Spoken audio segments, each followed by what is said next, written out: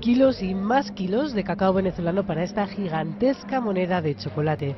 Venezuela ha logrado quitar el puesto a Italia que hasta ahora tenía el récord Guinness de la moneda de chocolate más grande del mundo. La venezolana tiene 2 metros 40 de diámetro y ha pesado 712 kilos. El récord ha sido confirmado por este representante del Guinness. Se ha superado la cantidad de chocolate necesaria para batir el récord en el molde que tenemos aquí en nuestras espaldas. Eh, tenemos una cantidad aproximada de 677 kilos. La cantidad al batir eran 658, así que en cuestión de cantidad de chocolate ya hay suficiente para batir el récord. 80 chocolateros durante 10 horas han trabajado para dar a Venezuela esta pequeña pero dulce alegría.